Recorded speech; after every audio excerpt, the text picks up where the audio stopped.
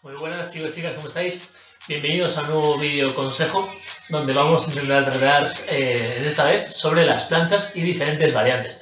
Como muy bien explicó Javi en el vídeo sobre planchas, que si lo queréis ver y si no lo habéis visto, está bastante completo, ¿de acuerdo? Poco más tengo que añadir de lo que añadió, añadió él.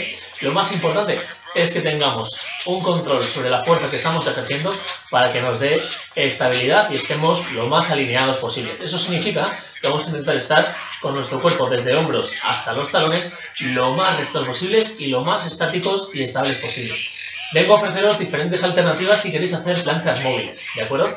La plancha móvil, ¿de acuerdo? Vamos a intentar mantenerla a lo mejor un poquito más tiempo del tiempo que mantengamos una plancha estática, pero acordaos siempre que lo aconsejable a niveles generales, ¿de acuerdo? Nunca sería más de 8 a 10 segundos para que la contracción isométrica permita ese paso de sangre oxigenada. Si lo queréis hacer móvil, ¿de acuerdo? Recomiendo que lo hagáis a lo mejor un poquito más de tiempo, ¿de acuerdo? Pero sin excederos nunca de los 20 segundos. Si alguien está entrenando para deportes un poquito más individualizados, entiendo que a lo mejor deba de mantener esa plancha durante más tiempo.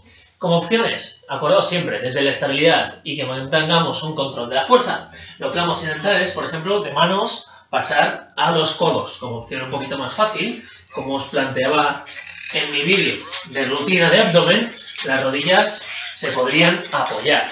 Una opción un poquito más compleja, si queréis, sería la toalla en los pies. Lo podemos trabajar en esta posición, que sería bastante fácil, con una sola pierna llevando la rodilla hacia el pecho, ¿de acuerdo? O si queréis, los dos pies en la toalla y desde aquí llevar las dos rodillas hacia el pecho y vuelta.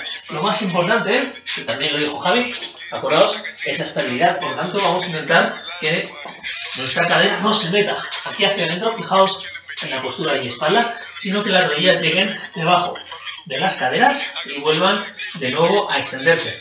Si queréis desde aquí, otra opción con esa toalla sería extender nuestro cuerpo y volver de nuevo con él hacia adentro. Y como opción para las manos, si queréis hacerlo un poquito más intenso, podemos hacerlo desde una plancha frontal a una plancha lateral.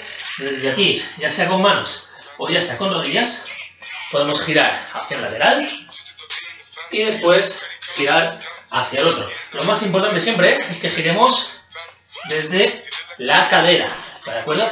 Muchas veces giramos el hombro, pero la cadera se queda estable, por lo tanto nos estamos haciendo seguramente daño, ¿de acuerdo?